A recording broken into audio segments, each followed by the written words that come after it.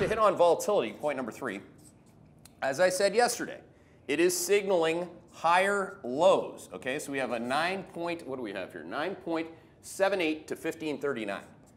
That is the risk range, 15.39.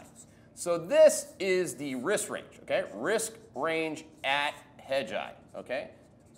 Copyright until I'm dead. Mm-hmm. Risk range at hedge Hedgeye. That is your range. That's the batter's box.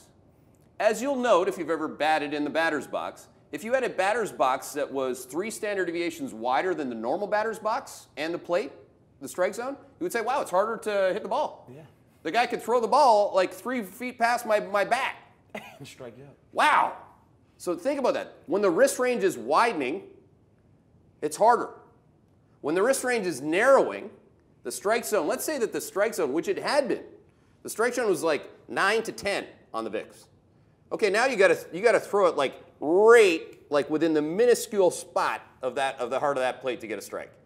Now that's hard to get me out. You're gonna probably walk me. I'm just gonna get on base, keep going, keep going. That's why even I can generate returns in a low volatility environment. So again, a monkey could do that. You know, when when volatility widens, oh, whoa, whoa, whoa, whoa, whoa.